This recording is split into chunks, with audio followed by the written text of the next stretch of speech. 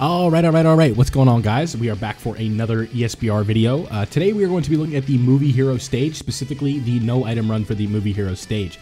Now, with the addition of the new Goku and Piccolo, uh, we got a little bit more ammunition to go ahead and make this a bit of an easier experience. Uh, let's go ahead and go in, in, in depth with each unit we are using on the team, and then we'll kind of break down why I think they're important, what they bring to the table, how they make this a little bit easier, and just overall what we kind of have to do to get it done, right? So let's go ahead and start with our first unit, and that is Kaio. Or I keep wanting to say Kaioken, but LR Cooler Movie Goku. We're gonna go ahead and call him Carnival Goku. Uh, Carnival Carnival Goku is really good because of his revival skill, his guard, his stacking in between turns, the uh, you know the, the active skill, the revival, uh, the nullification that he does with said active skill. It's just a very easy revival condition that just kind of makes life a bit easier for us and gets us out of dodge in case we make a quick oopsie. Uh, moving on, the new Piccolo has the guard as well as the attack and defense when he gets hit. He gets the additional damage reduction. And then we have a bit of a different kind of setup with this. We have Tech God Goku uh, just to kind of carry us through with the defensive damage reduction against a movie boss. We have the LR gods who have their guard on first appearance and overall super effective with their 24 ki uh, just to kind of make sure that we go ahead and take as little damage as possible.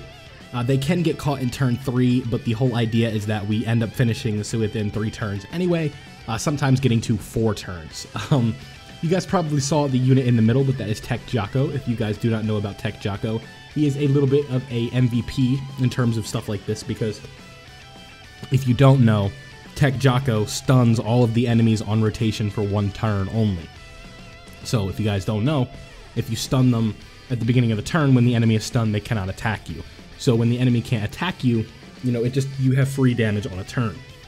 And when you have double LR gods like this, you can go ahead and take full advantage of that. So this is where things get a little bit interesting, right? We are in a, a bit of a situation where we have Tech God Goku in slot 1, we have Revival Goku in, well, move to slot 1, but Tech God Goku in slot 2, Revival Goku in slot 1, and then Piccolo in slot 3. Uh, the idea is that we don't get the win and our boy LR Goku goes ahead and gets the revival. But if we don't, obviously we see you get the KO right here, we have a backup plan, and that is with um, our boy Jaco still being on rotation and stunning. So we can go ahead and just, no matter what we're getting into next turn.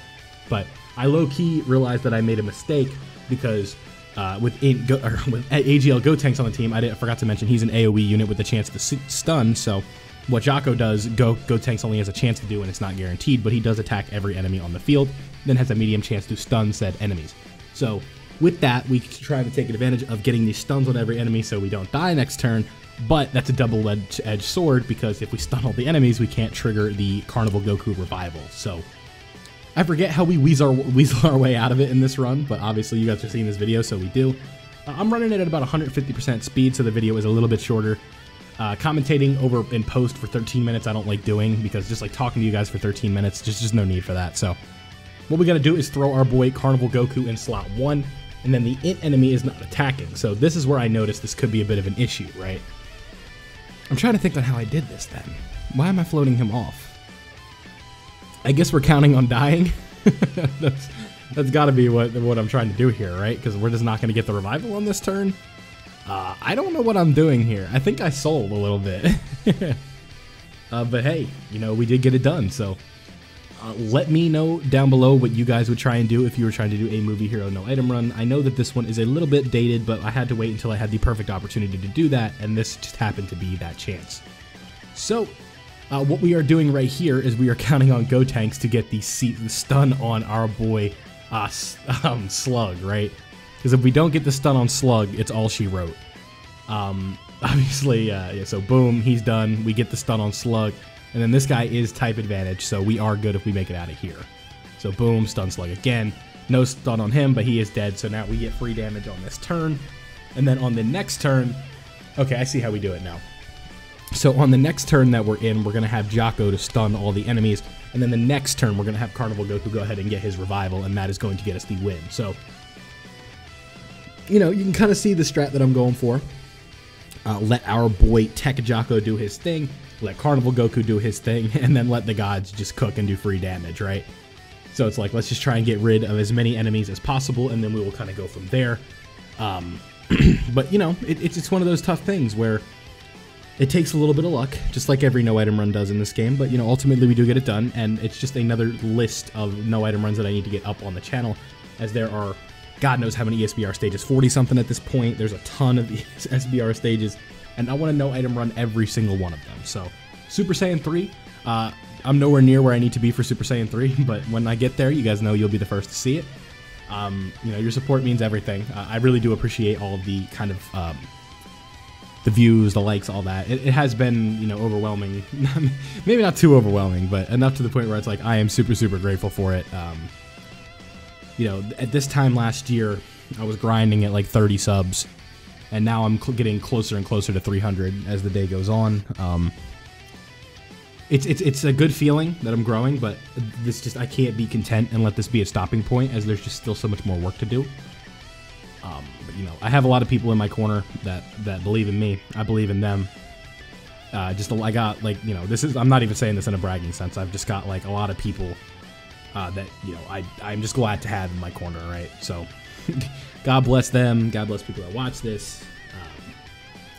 But we're gonna continue to grind, right? Dokkan is one of those games where it's a it's a it's a big rat race, right? Like it's there's a lot of people making Dokkan content, and that's where things do kind of get tricky, right? It, it's not just a um, upload a video.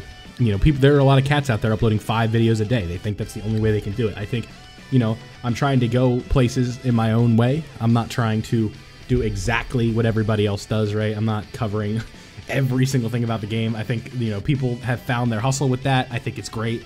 I'm glad that people have found their own success doing that, but I just don't think if you want channels that cover the breaking news as it happens, I'm just not the best guy for it. I'm not the most reliable, right? So that's all. But we're going to go ahead and let this play out. Um, the active skills are going to go ahead and get the job done for us here. I get really nervous because I had a buddy in a call who's like, You're not to win this. And I'm like, Why? He's like, You'll see. And I'm like, What is he talking about? And I'm like, oh, Jaco's on rotation. So we have Carnival Goku nullify Bojack and get rid of him. So now it's just these two. And then we're to have the Blue Boys, and then we're to use an active skill on this one. And that's to go ahead and get rid of him. And then it's just one enemy who is sealed. So we just need these normals to not kill us with the guard, and then the Blue Boys will go ahead and take care of business for us. So uh, you guys can go ahead and enjoy that. Carnival Goku still took 60k on the normal. Shout out to stacking, but that's all I got for you in today's video. You know, I appreciate everybody who watched it. Uh, don't take my words as I'm not doing content like everybody else as a dig to anybody else. I love the people in this community, but have a great day, everybody. I appreciate you guys watching. Leave a like if you enjoyed. Subscribe if you are new. Turn on notifications so you don't miss out when I post Dokkan content like this. Have a great day. I'm out.